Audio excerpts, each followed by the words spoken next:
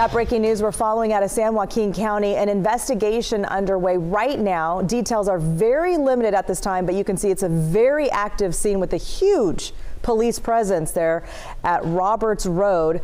Uh, Stockton police are there. San Joaquin County Sheriff is there. We're told both agencies are involved in this investigation. So here's a closer look at where it's located on the map. It's at the end of Rolerson Road, close to South Roberts Road. KCRA 3's Kay Racine joins us now live from the scene. So Kay, you just got there. What are you seeing right now?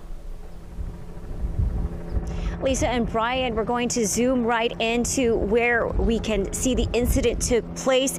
Uh, we see many Stockton police patrol cars, a silver sedan with the trunk popped open. This is in a very rural area of Joaquin County. We're just south of Highway 4 West near Rolerson and Wolfinger Roads. Now, all the sheriff's office will say at this point that it is an investigation is underway in the area of Roberts Road and Rolerson Road.